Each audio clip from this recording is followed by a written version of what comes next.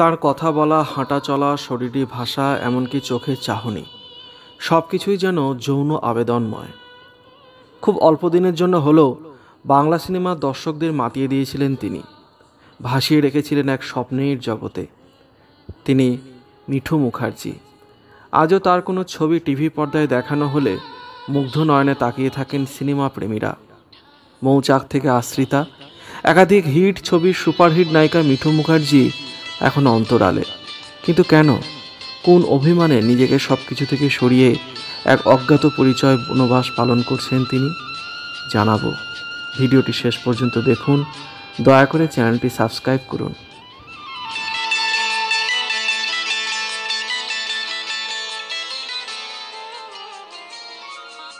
সালটা সম্ভবত উনিশশো সাতষট্টি কি আটষট্টি হবে। শ্যামবাজার ভাতৃসংঘের রজত জয়ন্তী উৎসবে রবীন্দ্রনাথের তাসের দেশ নৃত্যনাট্যে মিঠুর প্রথম মঞ্চাবতরণ। এরপর প্রতিমা, মুখ, উর্বশী ফিগার, নাচতে ভালো পাড়ার সুবাদে নায়িকা রূপে চলচ্চিত্রে প্রবেশ। মিঠুর প্রথম ছবি ছিল চিত্তবসুর শেষ পর্ব, অমিতাভ হেমামালিনীর বাগবানের গল্প। পাহাড়ি সান্যাল ছায়াদেবীর অভিনীত এই ছবিতে নবাগতা নায়িকা মিঠু, বড় ছেলে অজিতেশ, অনুভা গুপ্তার মেয়ের ভূমিকায় অভিনয় করেছিলেন। তার নায়ক ছিলেন সমিত ভঞ্জ।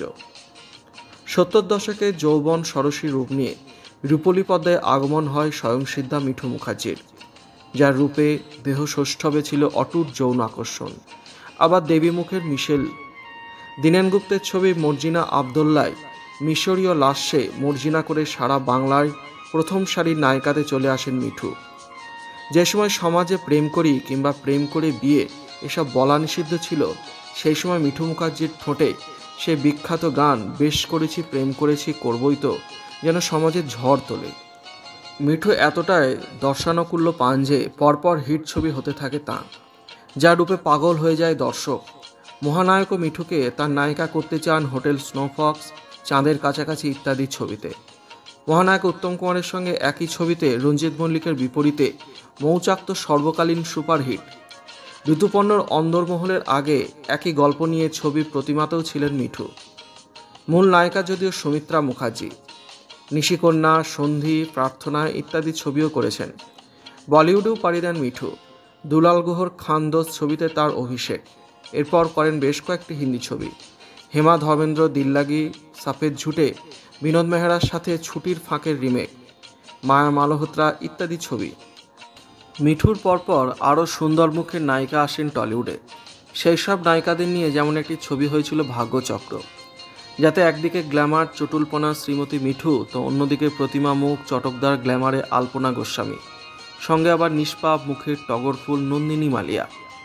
ওদের সবার এক প্রেমিক জয় সেনগুপ্ত। সেই টানাপোড়েনের গল্প। ছবি অত আলোচিত আজকাল না হলেও ছবিতে ভাগ্যের চাকাটা তো ঘুরছে। উৎপলা সতীনাথ জুটির সর্বকালীন হিট গান। সুলতা চৌধুরী ও সমর কুমারের নাচে গানে লিপে। জয় মিঠু জুটির আরও এক রঙিন ছবি দুজনে বাপি লাহিড়ির সুরে সর্বকালীন হিট গানগুলো এই ছবির অন্যতম আশ্রয়। আশ্রিতা মিঠুর শেষ সুপার ডুপার হিট ছবি। কনওয়ালজিৎ এই ছবির নায়ক। আজা নয় রাজা, আনি নয় রানী, জানি জানি, আমি জানি। এই গানটায় লতা মঙ্গেশকরের সাথে ডুয়েট গেয়েছিলেন লোকসঙ্গীত শিল্পী পঙ্কজ মিত্র। আর এই গানটার লিরিক মিঠুর নিজের লেখা। কারণ ছবিটি তাঁরই প্রযোজনা। তারপর আর দেখা গেল না মিঠু মুখার্জিকে। আর আসেননি রূপলি পর্দায় মিডিয়া থেকেও একেবারে সরে যান। লাইমলাইট থাকতে থাকতেই সরে যাওয়া উচিত, সেটা হয়তো বুঝেই তিনি সরে গিয়েছিলেন। আমরা কেউ দেখিনি তার বৃদ্ধ বয়স। হয়তো কোনো পারিবারিক সমস্যাতেই আজ তিনি অন্তরালে। মিঠুর দুই ভাইজি প্রসেনজিতের নায়িকা হয়েছিলেন।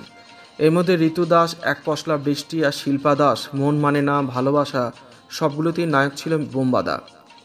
সম্প্রতি কবছর আগে ক্যান্সার হওয়ায় বড় ভাই যে ঋতু মারা যান। মিঠু মুখার্জি এখন ঘোর সংসারী। দিনের বেশিরভাগটা সময় ধর্মকর্ম নিয়ে ব্যস্ত থাকেন।